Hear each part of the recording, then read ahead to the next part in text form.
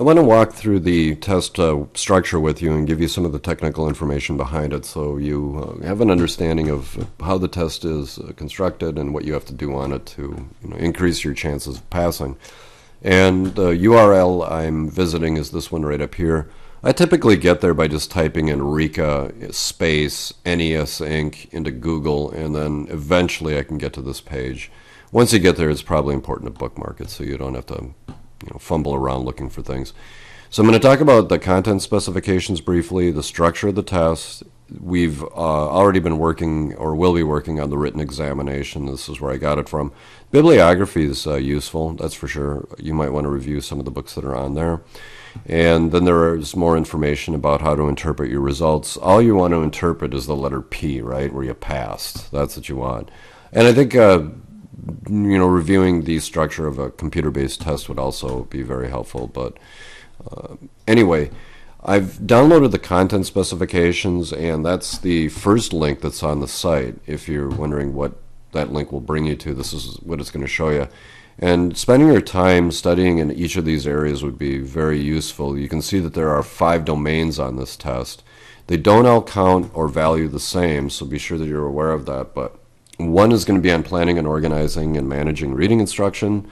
The other is on word analysis. That's going to be phonemic awareness, concepts about print, uh, phonics, and syllabication, things like that. Then they've broken out domain three fluency to stand by itself. And then they have vocabulary, academic language, and background knowledge all packed into one. And they have comprehension, test questions on comprehension.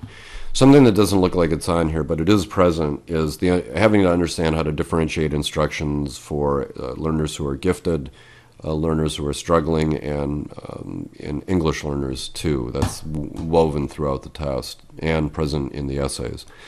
If I just scroll down uh, a little bit so you can see this, notice that like on a domain like domain one, you can see where they have planning and organizing and managing reading instruction along with the competencies. And each of these domains has a different number of competencies, but you've got to look someplace else to figure that out. But let's just look at this and, and see what it's telling.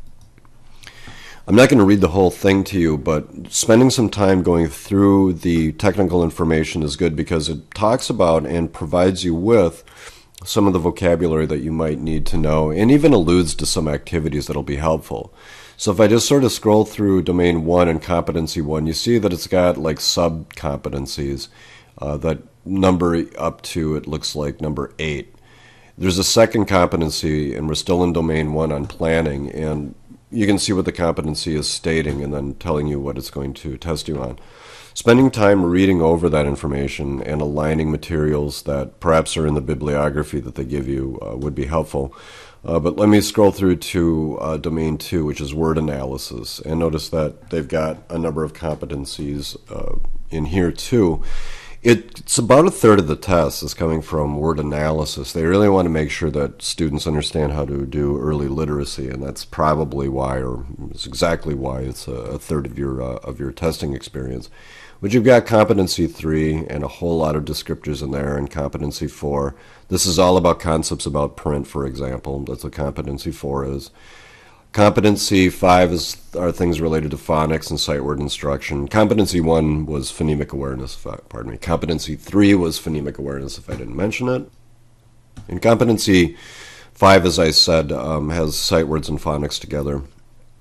Competency six is about looks like automatic word recognition. Kind of says so right here. So really, reading over all of these uh, descriptors is incredibly helpful. If you don't have any idea what a VC CVC is, you probably want to learn what that is, right? Vowel consonant, consonant, vowel consonant, along with segmenting, sounding out, and blending, for example. So spend some time in here so you can get an uh, idea of what's going on. Even uh, some of the terminology like inflex, inflections, I give you inflections that you can study, and I talk about those things on the content lectures and in the multiple choice review.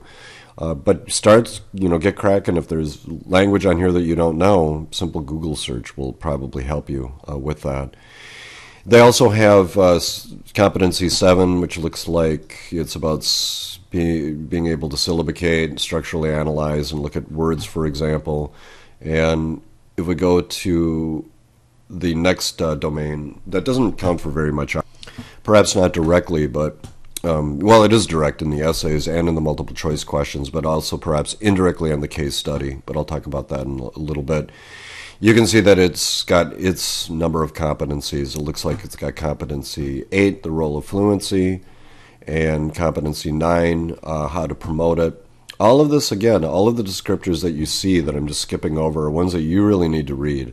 It'd take too much time for me to do this, and I really already did it when I covered the reading instruction model in a separate series of lectures. It takes about three or four hours to get through, I think. Domain 4 is on vocabulary and uh, academic language. You can see, again, con- uh, the content areas that are here, or the competencies that are there, rather. And let me go to the last one, which is on comprehension. And comprehension uh, has, again, its own set of competencies, too, and descriptors. Do spend some time on that because they do allude to activities. Like if I were to show you one, it says, for example, if you look at uh, how they describe inferential comprehension, main ideas, comparisons, cause and effect, uh, relationships, etc., you can get a sense of their understanding of the definitions of these words. Making um, like flashcards is helpful. You can do that certainly on paper if you want, or there are flashcard I guess apps that are out there that you could could do. Perhaps that'd be uh, be helpful.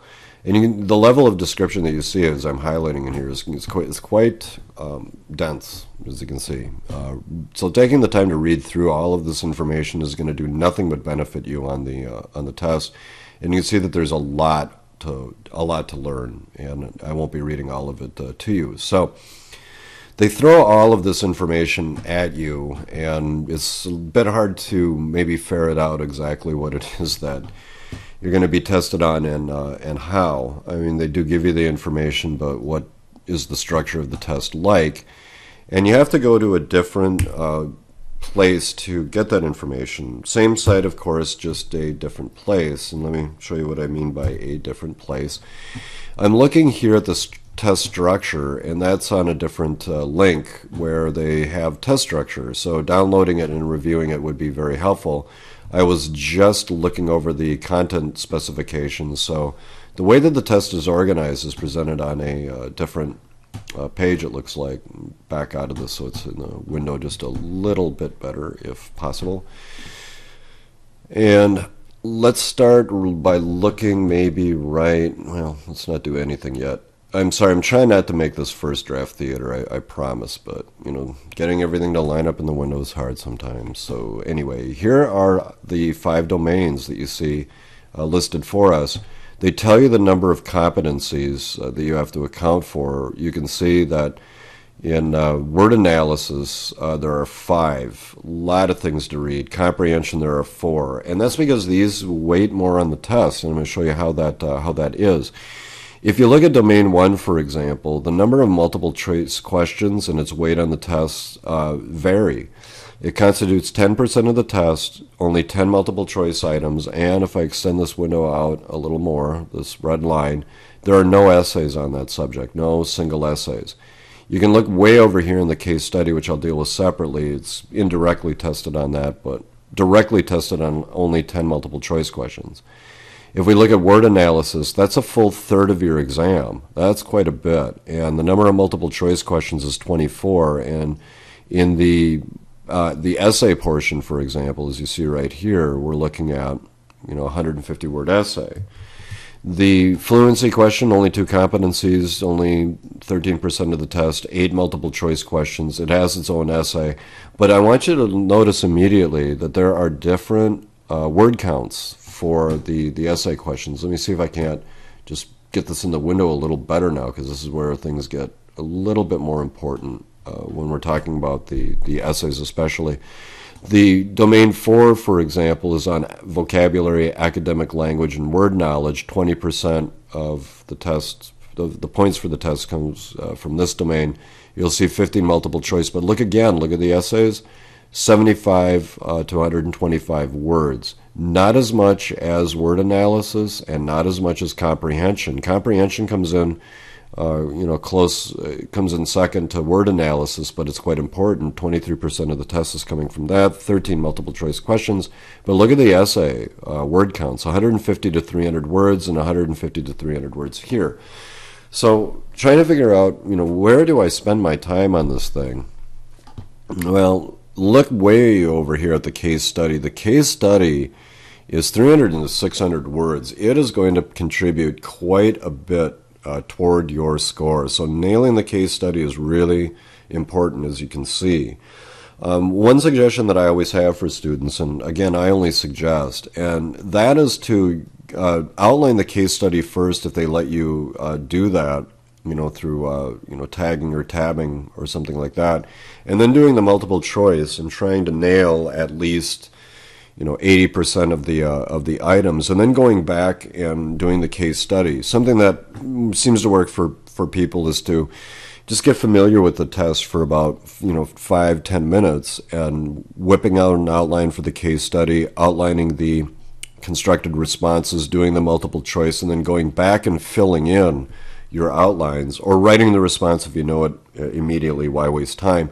That does uh, seem to work for some people uh, one thing that is a little funny, it's not funny at all, it's your money. One thing that's a little dastardly is they tell you you're going to be, you know, doing 70 multiple choice questions, and do them you will. But I wanted to point something out to you here that you might not have uh, have known unless you know where to look. And this is in the explanation of the the score report. And one thing that a lot of uh, of students are not uh, aware of uh, is this that not all of the multiple choice questions count. Look, 10 multiple choice questions are field questions that do not count toward your score. And I'm not a real fan of that, I have to tell you. I wish that they just would be straight and not play games and use test takers as guinea pigs, but, but, they, but they do. And that means that only 60 multiple choice questions count. You don't know which are which. You're going to be doing questions that aren't going, going to count your, toward your score. And that's why it's really important to go through these, you know, through the test, get the questions that you know and are sure on uh, so that you're not wasting time on this on this test. That's probably the worst thing that you can do. Another thing that's not clear is, you know, what order the essays are, are um, presented in. And so if you look here, for domain three, that's the first essay that you see. That is um, uh, assignment A, is what they is what they call it. So, when you're doing a, uh, the first essay, just remember you're not going to be getting very many points for that. Uh, also, the second one is this one right here. The two cheap uh, questions that don't count much toward your score, they give you first. And if you look at the next question that's given, it's the word analysis question. That's C, it counts more. And then the one that counts uh, uh, about the same as uh, word analysis is the comprehension essay, 150 words to, to, to 300 words. And then the case study, that's the one that counts the most.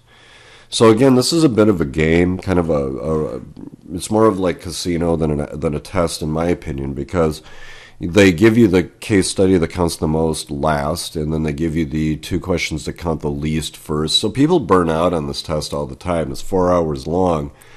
Uh, so really learning how to do this test efficiently, I think, is uh, half the battle, or half the battle. I don't have any idea what the percentage is, but it just makes more sense to do something like outline these essays first, do the multiple choice, do as many of the gimmies as you can, get through those, and then go back in and fill in your essays, and then guess on the questions. There's there will be multiple choice questions that you're not going to get because maybe you're not supposed to get them. You know, there are 70 questions there.